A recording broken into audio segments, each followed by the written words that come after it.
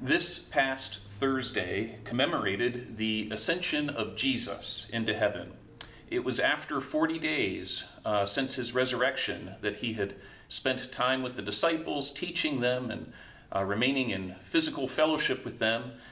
And then he ascended into the heavens. Now, this story is told twice in our Bible, uh, both times by the same author, Luke. Uh, so I'll begin by sharing with you Luke's account uh, in the Gospel of Luke, chapter 24, of how this ascension took place. Jesus said to the disciples, This is what I meant by saying, while I was still with you, that everything written about me in the law of Moses and in the prophets and Psalms was bound to be fulfilled. Then he opened their minds to understand the Scriptures. So you see, he said, that Scripture foretells the sufferings of the Messiah and his rising from the dead on the third day, and declares that in his name repentance bringing the forgiveness of sins is to be proclaimed to all nations, beginning from Jerusalem. You are to be witnesses to it all. I am sending on you the gift promised by my Father. Wait here in the city until you are armed with power from above. Then he led them out as far as Bethany, and he blessed them with uplifted hands.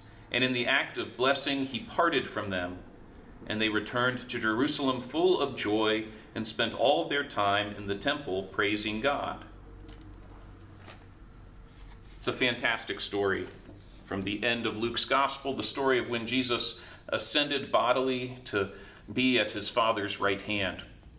It is such a fantastic story that some have doubted. Uh, some have thought that Luke made it up to explain why Jesus wasn't around uh, for the early Christians.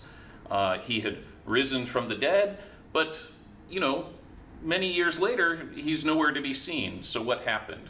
Some people think that Luke made up that story to explain the absence of Jesus. On that point, I wanted to consult an author who I appreciate dearly. His name is Robert Farrar Capon, and in his book Kingdom, Grace, Judgment, he looks at parables. And he says uh, about the ascension, we have something parabolic going on but he doesn't want us to dismiss the story of the ascension as purely a parable, something purely made up. And here's what he has to say about uh, this. He is referring to critics who think that Luke made up this story. The critics I refer to usually say something like this.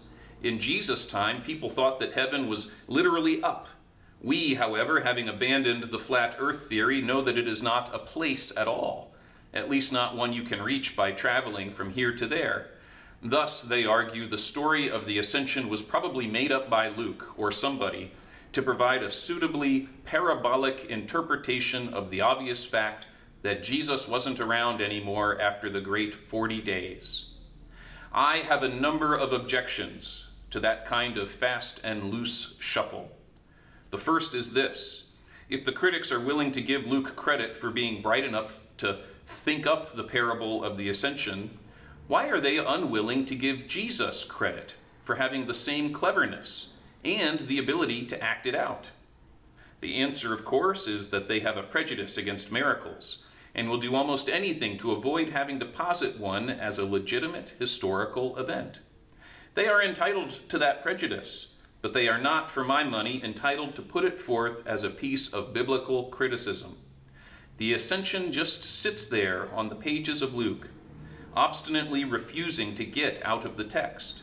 They don't have to like it, but they should do everyone the favor of acknowledging that their dislike is based on an a priori philosophical judgment and not on Scripture itself.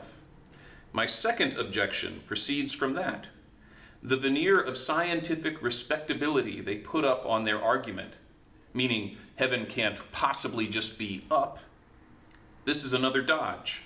Of course, heaven isn't up, but if you are going to act out a cosmically significant departure, you have, even in our 21st century, a choice of only three directions up, down, or sideways.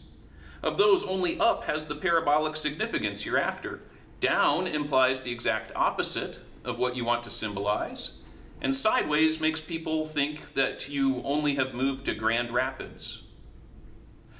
Finally, it seems silly for these debaters to mention the flat earth, round earth controversy. Their whole argument attacks only a straw man. Whatever your view of terrestrial or celestial mechanics, neither scripture nor sound theology requires you to get Jesus any further spatially than the first cloud. After that, the ascension as an event in this world is over, and the cosmic significance of it becomes, as it was meant to be all along, the main thing. So I am perfectly happy to take the ascension as an event, and I am equally comfortable trying to plumb its parabolic significances to my heart's content. The two activities do not conflict in any way. Indeed, they absolutely require each other. If you insist on the ascension as a mere happening, you miss its meaning. If you only harp on its meaning, you cut it off from history, which is the only arena in which God has revealed to us, parabol parabolically or otherwise, his purpose. I really like that author. I really like how he lifts up the ascension both as an event and as something that teaches us, something that has parabolic meaning. Saying that the ascension has parabolic meaning to us, that it teaches us a lesson or two, is not the same thing as saying it was made up or that it didn't happen. God works in history. We know this through Jesus Christ, who was born in the first century and was killed by the political rulers of the first century, um, and ascended in the first century. Now, I wanted to read to you uh, Luke's second telling of uh, the ascension because I think it speaks to us on exactly uh, what the what the ascension means, and I think it's an important thing for us to consider. This is from Acts chapter 1. Acts was also written by Luke. It's the same author. When they were all together, they asked Jesus, Lord, is this the time at which you are to restore sovereignty to Israel?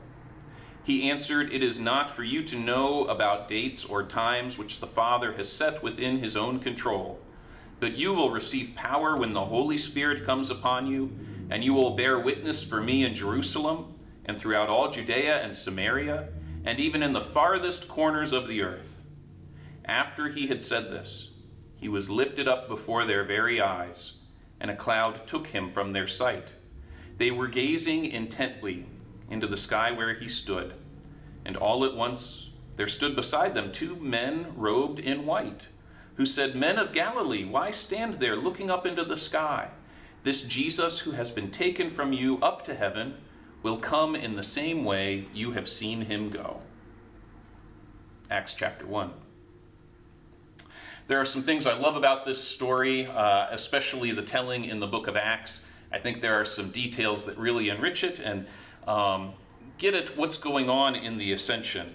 The first thing that I love is that Jesus tells the apostles that he is sending them into the whole world to spread the news of his resurrection, the gospel of new life through Jesus Christ. They are to go to all the ends of the earth to share this news.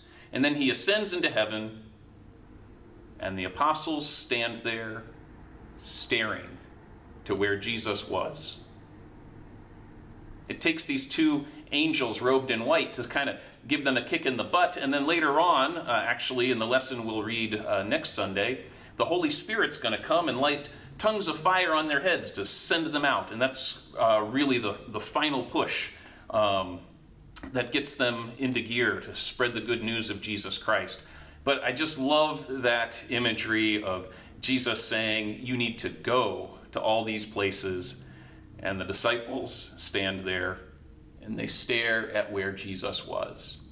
And that's a danger for you and me, isn't it? That uh, we miss where we are called to go because we fix our gaze on where we have experienced the presence of Jesus Christ.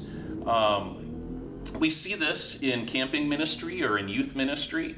Uh, we are always trying to encourage those who participate, those who work at youth events or serve as camp counselors, those who come as youth or as campers, uh, for all the wonderful experiences that we have in those ministries, it's what happens afterwards uh, that's at least as important if you spend all your time pining to be back at camp or back at a youth event or back at a retreat, you've kind of missed the point. Uh, we have these special times in our lives where we experience the presence of Jesus, uh, but we have to carry that out into the world, or we've possibly missed the point.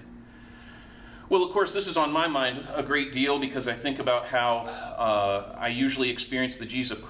The, I usually experience the presence of Jesus Christ in the midst of our community, gathered here, especially on Sunday morning or throughout the week for additional services.